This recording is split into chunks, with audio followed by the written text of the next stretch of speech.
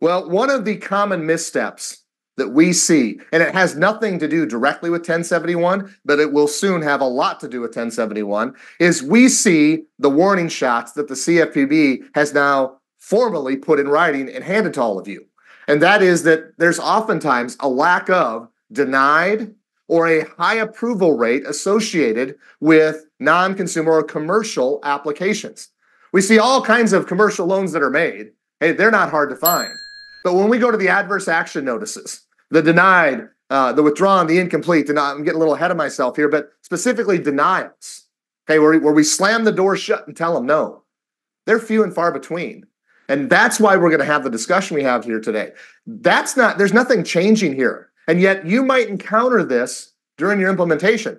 Well, when did that change? Okay, we've never done it that way before. It's very likely that we haven't been doing, excuse me, that we haven't been doing it right all along.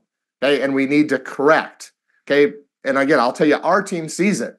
Hey, that there's a lack of denied applications when it comes to commercial applicants. Hey, and it's and the question is, well, so everybody gets a loan? I mean, everybody that applies gets a loan. That's that's not true. That'd be silly, right? You certainly tell people no. Well, where's the documentation?